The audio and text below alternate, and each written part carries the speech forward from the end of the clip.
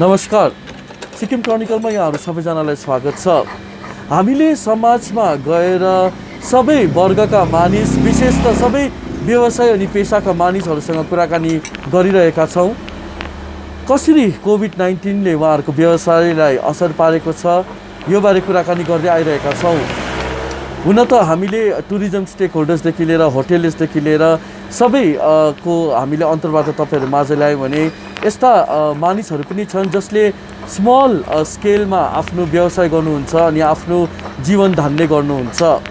यस्तै एकजना व्यक्ति मसँग हुनुहुन्छ उहाँ आरनको काम गर्नुहुन्छ उहाँ पिबी सेन्चुरी हुनुहुन्छ उहाँसँग कुराकानी गरौँ अनि उहाँको भोइसलाई पनि हामी तपाईँहरू माझ लिएर आएका छौँ।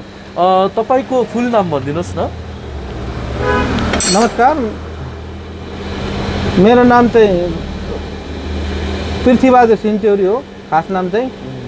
अनि तपाईँले जुन यो गर्नुहुन्छ नि यो कामलाई चाहिँ विशेष त के भनिन्छ? यसलाई चाहिँ आरन भन्छ सर। आरन हजुर।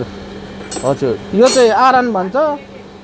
अनि कति वर्ष भयो यो काम गर्नुभएको? म त बचपनदेखि यही हो। हजुर।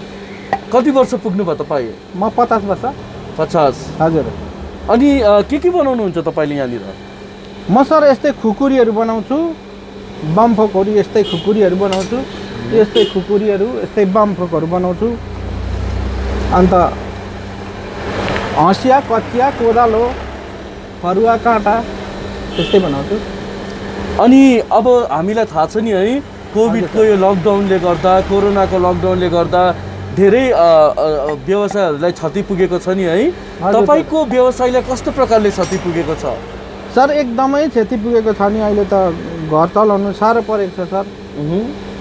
अन्त खै अब चल्दैन सर यस्तै अब मान्छेहरू पनि हिँड्दैन चल्दैन पनि। अब हामीहरू सानोतिनो मान्छेलाई त अलिक साह्रै परिरहेछ सर के गर्नु? अब योभन्दा अघि जब लकडाउन थिएन है तपाईँको बिजनेस कस्तो थियो अनि महिनामा कति दिनमा कति तपाईँले व्य- व्य- व्यापार गर्नुहुन्थ्यो त्यस्तो दिन त हुँदैन सर यसो घर चलाउनु अब नानीहरू पढाउनु घर चलाउनु चल्थ्यो सर अब हिँड्नु डुल्नु यस्तो नाङ्गो फेर्नु लगभग लुगा कति। जस्तो चाहिँ महिनामा तपाईँले कम व्यवसाय गर्नुहुन्थ्यो महिनामा हुन्थ्यो सर यस्तै आठ नौ हजार दस बाह्र हजार हुन्थ्यो। अहिले त छैन सर त्यो पनि यसो खानु पनि पुग्दैन सर यस्तो सब्जी किन्ने पैसा नि आउँदैन चल्दैन इष्टमित्रहरू पनि आउँदैन गाहकी नै आउँदैन सर अहिले चल्दैन। अनि अब यो लकडाउनले गर्दाखेरि हामीलाई साह्रै मार्का परिरहेछ। यस विषयमा चाहिँ सरकारले केही तपाईँहरूले तपाईँले। मतलब त्यो के के को चाहिँ खर्च छ तपाईँलाई मेनली घरमा? हजुर के के खर्च हुन्छ तपाईँहरूको घरमा खर्च हुन्छ नि सर अब नानीहरू पढाउनु अब लाउनु खानु अब सब्जीहरू किन्नु घरहरू रेन्ट भाडाहरू यस्तै भए पनि कति छ। रेन्ट भाडा तपाईँको?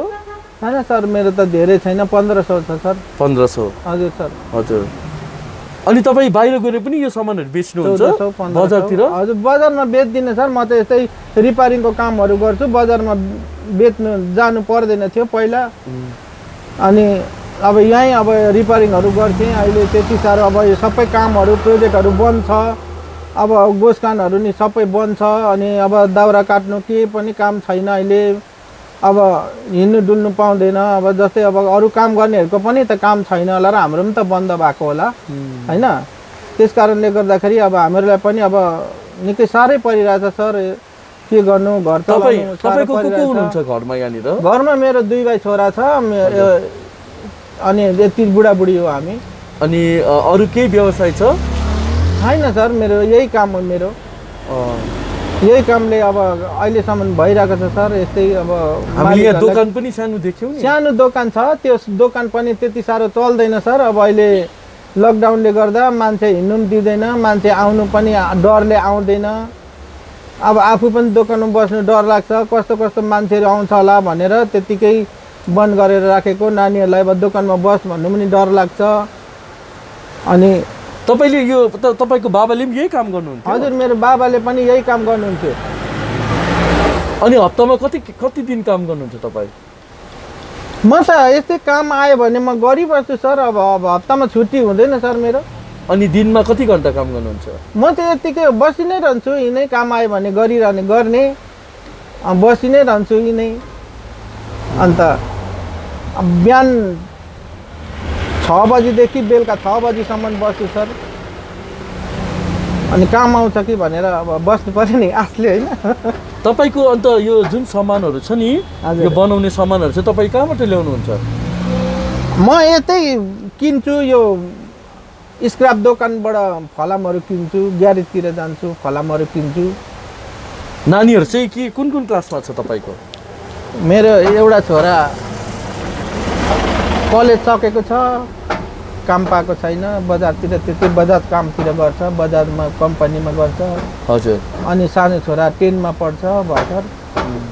अहिले पढाउनु त भएछ नानीहरूलाई। हजुर पढा पढाउँदैछु। हजुर।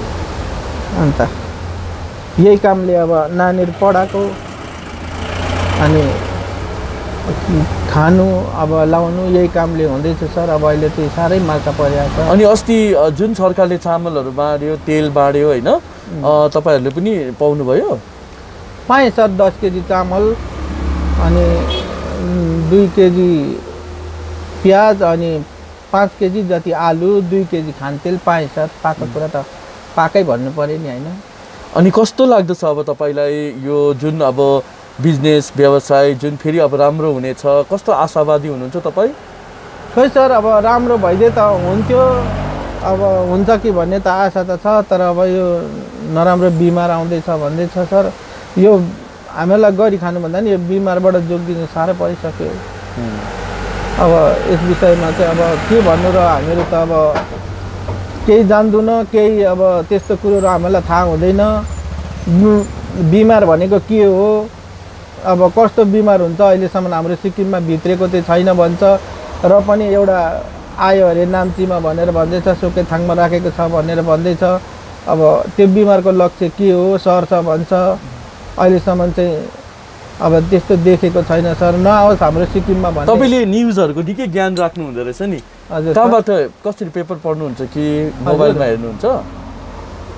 म मोबाइलतिर पनि हेर्छु सर। म अन्त पेपरहरू पनि हेर्छु कहिलेकाहीँ मोबाइलतिर पनि हेरिबस्छु टिभीतिर पनि समाचारहरू हेरिबस्छु सर। अनि अब के गर्नु अब यो बिमार चाहिँ नआइदियोस् बरु यसो खानु त हामीहरू सागसिन्चीहरू खाइहाल्छु होइन? तर बिमार चाहिँ हाम्रो सिक्किममा नआइदिएको भए हुन्थ्यो भन्ने आशा गर्छु सर।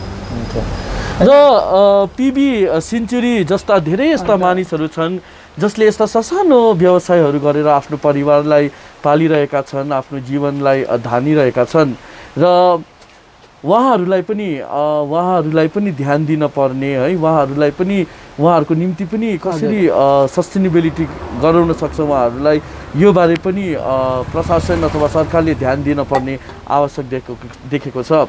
यस्तै व्यवसाय गर्ने अरू व्यक्तिहरूको पनि हामी अन्तर्वार्ता तपाईँहरू माझ लिएर आउनेछौँ। मेरो सहयोगी आशिष गुरुङको साथ म निर्मललाई बिदा दिनुहोस्। नमस्कार।